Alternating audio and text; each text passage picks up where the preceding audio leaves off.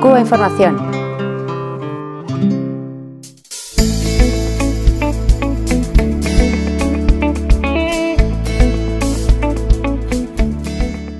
Cuando se produce un atentado, agencias y medios internacionales asumen con disciplina la versión oficial de los gobiernos, salvo que éste se produzca en Venezuela.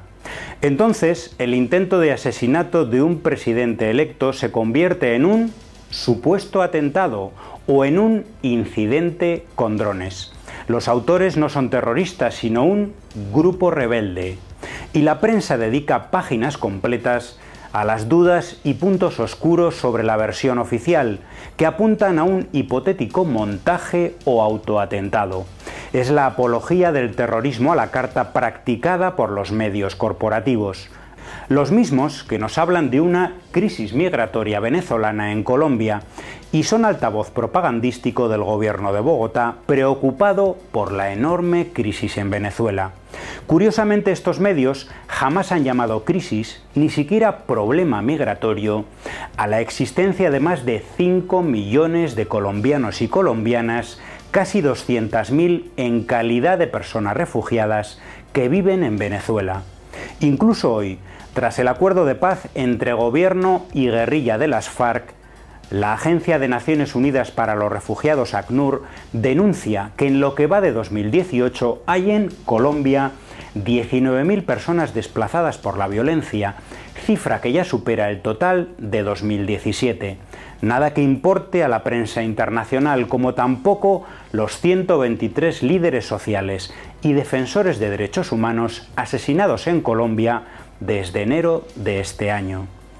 Si tecleamos en los buscadores Marcha en Nicaragua, encontraremos solo manifestaciones de la oposición. Las marchas sandinistas, superiores en convocatoria, son invisibles. ¿Por qué? Porque contradicen el guion mediático, grabado a fuego en la opinión pública, el que endosa las muertes ocurridas desde abril solo a la represión gubernamental, oculta la extrema violencia opositora y sataniza al gobierno porque nos dice se aferra al poder, que hace año y medio obtuviera el 72% del voto popular, ¿no legitima algo este poder? Leemos en el diario español El País que la reforma constitucional de Cuba es puro teatro, un simple cambio semántico. The Washington Post la califica de mero traje nuevo y bonito para un régimen represivo y autoritario. Curioso porque durante tres meses el proyecto será discutido por la población cubana en 135.000 asambleas, en todos los centros de trabajo y comunidades.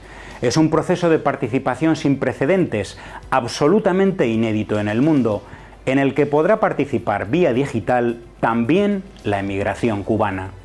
Dictadura, falta de democracia, régimen autoritario. ¿No les parece que en este relato de los medios sobre Cuba hay algo que no cuadra?